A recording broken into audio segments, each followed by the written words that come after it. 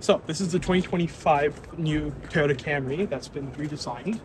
It this is basically the hybrid version. Has a it's going to be when you enter, and I think they've done a great job on the interior. So they borrowed a lot of design elements like this and the other sort of infotainment and stuff from Lexus and basically Toyotified it where they've made it a lot sporty.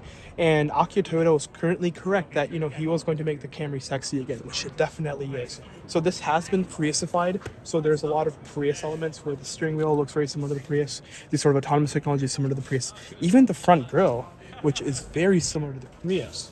And you know, that's not really a bad thing. We also do have some nice perforated leather and some nice designs here. But overall, I think this is a great looking car.